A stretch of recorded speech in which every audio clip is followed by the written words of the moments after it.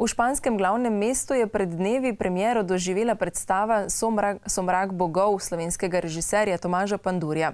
Madridski kulturni center Matadero je bil razprodan. Predstava Somrak bogov režiserja Tomaža Pandurja, ki si jo je slovensko občinstvo lahko ogledalo v sklopu letošnjega festivala Ljubljana v Križankah, je svojo težko pričakovano premiero doživela še v španskem glavnem mestu. To je naša šesta premiera v Španiji. Jaz sem zelo vesel, da smo našli uh, državo, mesto, našli svojo novo publiko.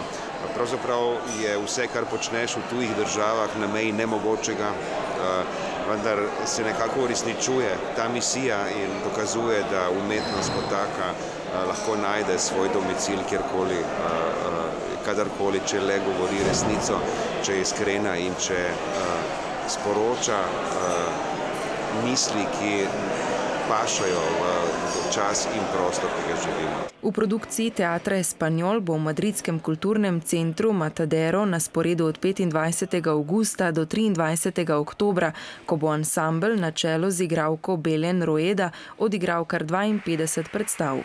Razprodano premjersko predstavo, ki jo je obiskalo mnogo znanih osebnosti iz sveta španskega filma, gledališča in javnega življenja, je spremljala tudi otvoritev razstave fotografa Aljoše Rebolja Skulpturirani čas s 60 fotografijami velikega formata Pandurjevih predstav Hamlet in Somrak bogov. S predstavo, ki je nastala po scenariju filma Lukina Viscontija Somrak bogov, je Tomaš Pandur s svojimi sodelavci, dramaturginjo Livijo Pandur, scenografijsko skupine Numen in kostumografko Angelino Atlagič ponovno navdušil špansko občinstvo in vzbudil veliko zanimanje španskih medijev.